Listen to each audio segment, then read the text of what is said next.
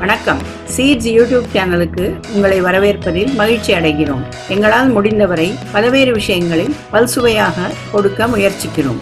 விதைப்பது எங்கள் கடமை வளர்ப்பது உங்கள் கையில் நிகழ்ச்சிகளை பார்த்து லைக் பண்ணுங்க ஷேர் பண்ணுங்க கமெண்ட் பண்ணுங்க. எங்களுடைய வீடியோ அப்டேட்ஸ் பெறுவதற்கு சப்ஸ்கிரைப் பண்ணுங்க. நிகழ்ச்சிகளை தொடர்ந்து பாருங்கள்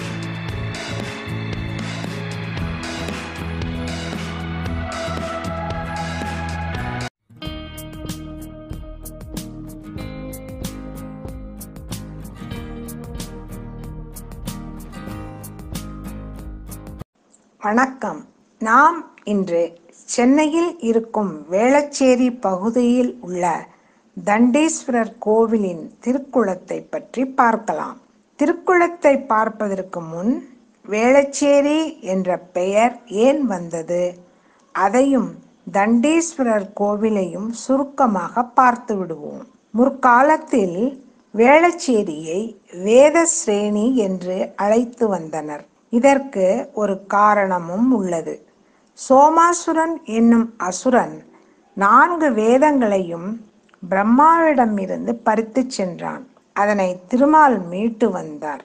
அசுரனிடம் தாங்கள் இருந்த தோஷம் நீங்க வேதங்கள் சிவனை வேண்டி தவம் இருந்தன. வேதங்களின் சிவ வழிபாட்டிற்கு இறங்கி காட்சி தந்த சிவபெருமான் வேதங்களுக்கு ஏற்பட்ட தோஷத்தை நீக்கி அருளினார்.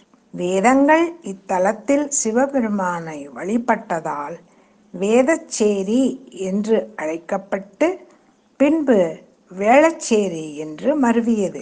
இந்த வேளச்சேரியில் தண்டீஸ்வரர் ஆலயம் உள்ளது. அதனுடைய புராண வரலாற்றையும் பார்க்கலாம்.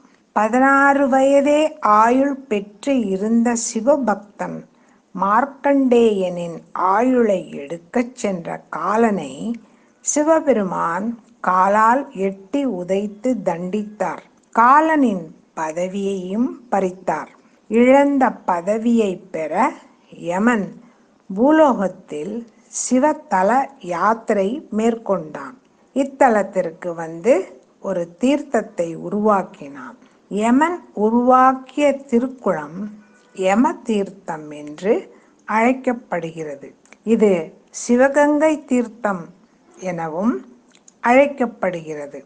இத்தலத்தில் சிவலிங்கம் பிரதிஷ்டை செய்து யமன் வழிபாடு செய்து திருவிழாக்களும் நடத்தி வந்தான். இந்த கோவிலுக்கு வர விரும்புபவர்கள் காலை ஆறு மணி முதல் முற்பகல் பதினோரு மணி வரையிலும் வெள்ளிக்கிழமை நண்பகல் பனிரெண்டு மணி வரையிலும் மாலை நாலரை மணி முதல் இரவு எட்டரை மணி வரை சுவாமியை தரிசனம் செய்யலாம்.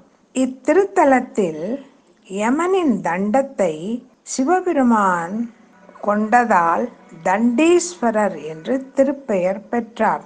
இவர் சுயம்பு என்பது குறிப்பிடத்தக்கது.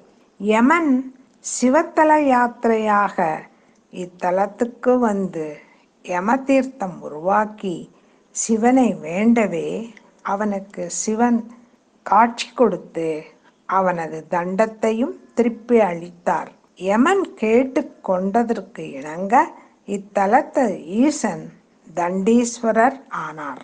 யமன் இழந்த தண்டத்தை பெற்றதால் மக்கள் தாங்கள் இழந்த வேலை அல்லது பொருள் இவைகளை திரும்பப் பெற இங்குள்ள சிவனை வழிபட இழந்தவைகளை திரும்பப் பெறலாம் என்பது அசைய முடியாத நம்பிக்கை.